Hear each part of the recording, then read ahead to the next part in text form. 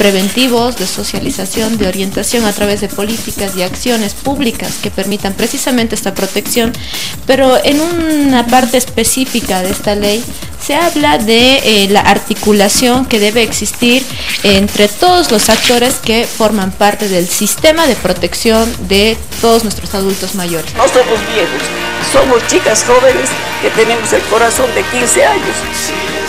Creo que ustedes van a pasar por la misma etapa. Todos vamos a Porque la juventud es como la rosa que florece y se. Así Entonces yo ruego que por favor siempre nos den mucha atención a todas, a todas ellas.